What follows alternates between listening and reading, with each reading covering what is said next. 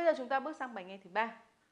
Chúng ta sẽ cùng nhau nghe phần cuối của cuộc thảo luận này và làm bài tập hoàn thành bản tóm tắt nhé. Uh, summary completion. Các bước làm bài dạng bài tóm tắt này như sau. Bước 1 đó chính là hãy đọc kỹ đề bài, uh, xác định số từ tối đa được điền vào chỗ trống. Ở bài này thì các bạn uh, chỉ được điền một từ mà thôi. Bước 2 đấy là đọc kỹ bài tóm tắt để hình dung về uh, nội dung của bài ghi âm.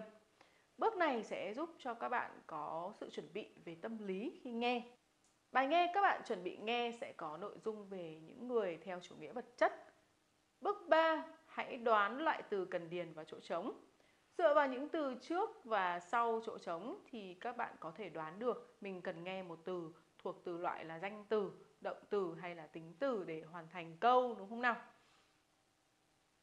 Ở trong câu 1, chúng ta sẽ cần tính từ vì đứng sau động từ to be là are.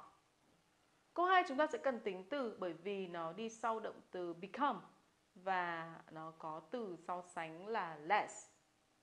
Câu 3 chúng ta sẽ cần tính từ chỉ cảm xúc bởi vì nó sẽ đứng đằng sau động từ feel, chỉ cảm xúc, cảm giác. Câu 4 thì chúng ta sẽ cần động từ ở dạng đuôi in bởi vì nó đứng đằng sau động từ stop. Và stop verbing tức là dừng cái việc gì đang làm lại. Câu 5 thì chúng ta cần danh từ bởi vì sau uh, động từ having. Và bây giờ mời các bạn cùng nghe bài ghi âm và trả lời câu hỏi nhé. Okay, well, I think it's time to look at some of the research about what makes us happy. Do you remember the research that we looked at in the last tutorial? Yes, hang on. I think I've got something about that in my notes. Ah, yes, here we are. It said that people were happiest when they're in control and when they have good relationships with others. Yes, it was a little more complicated, Ben, but that's certainly a key part of it. OK, but you can shop with other people and talk about what you bought. That's a kind of relationship. Uh, I agree, Julie. But how do we feel when we talk about our possessions? I think people feel bad sometimes. I mean, they don't say it, of course, but they're going to compare their things with what their friends bought. Mm, yes. Research has in fact shown that people who have materialistic values often have bad relationships. So, how do researchers know who is materialistic? Well, think about that survey you did. In fact, look at questions 5 to 7. Question 5 is about being generous. That's the opposite of materialism. And question six is about being envious, a characteristic of materialistic people. And question seven? That must be about how much you value your possessions. That's right. These researchers also did a happiness survey with the same people, and the results showed that there's a strong negative correlation or connection between materialism and being happy. Why might that be? Perhaps people who value possessions are worried that people will take them away from them, or they'll lose them, or they won't be able to afford them in the future. Perhaps they stop trusting people.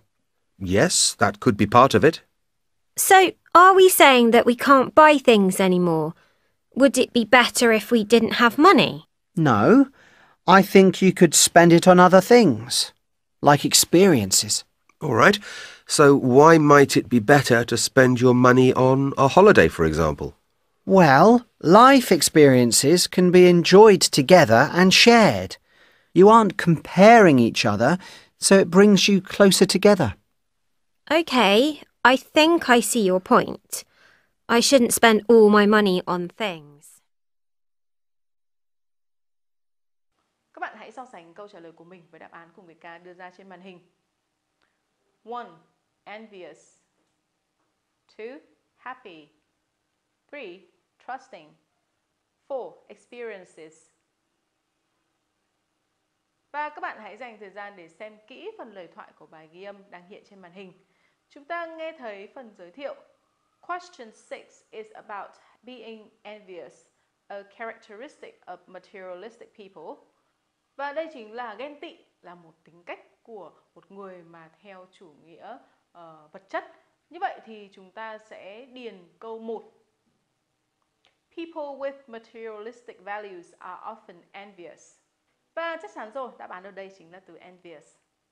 Và chúng ta có nghe thấy thông tin là these researchers also did a happiness survey with the same people and the results showed that there's a strong negative correlation or connection between materialism and being happy. Như vậy thì những người thiên về vật chất sẽ thường cảm thấy ít hạnh phúc hơn. Và từ cần điền cho câu hỏi số 2 chính là happy. Và đoạn sau đó thì Ben có giải thích lý do của sự không hạnh phúc đó như sau. Perhaps people who value possessions are worried that people will take them away from, from them. Và đáp án cho vị trí cần điền số 3 chính là worried. Và Ben còn nhắc đến thông tin là perhaps they stop trusting people.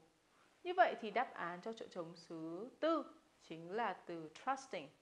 Họ uh, không còn tin người khác nữa.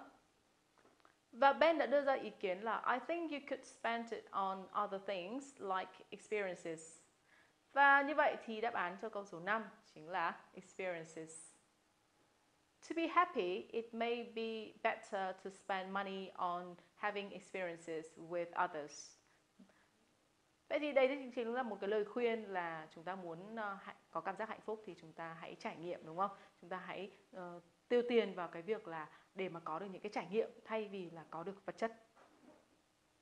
Và đó cũng là xu hướng của rất nhiều người trẻ ngày nay tìm đến những uh, thay vì là những tour du lịch uh, shopping mua sắm thì họ uh, tìm đến những cái thứ mà giúp cho họ có thể có được những cái trải nghiệm và những cái cảm xúc mạnh mẽ để có thể nhớ mãi uh, trong suốt cuộc đời còn lại của mình.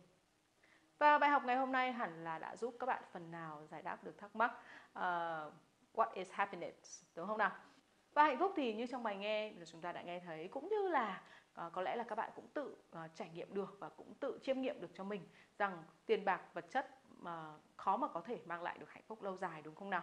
Mà chính là những kỷ niệm, những trải nghiệm, những cảm xúc à, đặc biệt những cảm xúc mạnh mẽ à, thật vui hay thật buồn hay thật ngạc nhiên hay thật sửng sốt hay thật đau đớn vân vân thì đấy chính là những cái mà nó sẽ làm giàu cho cái vốn sống của mình à, và những điều mà chúng ta có với những người thân yêu mới chính là mới chính là hạnh phúc đúng không nào và chính là những thứ mà làm cho chúng ta vui vẻ và tránh xa những điều không tốt như là tính đố kỵ, sự ghen ghét, sự bất an, sự mất niềm tin vào người khác, vân vân. Và bài học hôm nay của chúng ta đến đây là hết rồi. Chúng ta không chỉ học được à, những kỹ năng làm bài mà người ta nghĩ rằng là nội dung của các bài nghe và các bài đọc cũng rất rất là à, đáng chú ý và nó làm cho tâm hồn của chúng ta phong phú hơn, đúng không nào? Và chúng ta vẫn còn uh, có thể gặp nhau trong uh, khóa học này và trong phần kỹ năng nghe các bạn đừng quên theo dõi uh, tất cả cũng như là ghi chép đầy đủ và làm các bài tập đi kèm nhé để cái kỹ năng của chúng ta nhanh chóng được hoàn thiện hơn. Ok, goodbye and see ya.